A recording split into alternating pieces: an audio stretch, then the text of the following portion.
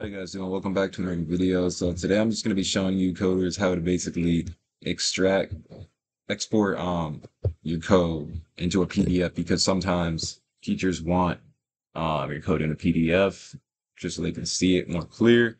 So basically, you're going to go to extensions over here. You're going to look up print. Um, I used to use print code, but it's no longer available. So this like will not be available. So you'll just install this thing called print. And then once you do that, you'll go back to the original code, obviously make sure it runs, make sure everything's good. You're gonna do control shift P, and then you're gonna go here to um it'll print it, and then it's gonna bring you to a um, browser here, right? So as you can see, it'll save it as a PDF. Boom, you'll just hit save. Then once you hit save, you can obviously save it to wherever you want.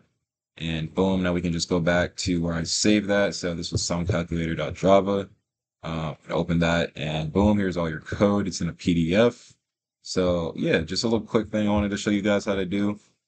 Uh, pretty simple. Let me know if you have any other questions. There are multiple other ways to do this, but this is the most simple, quick way I could find myself.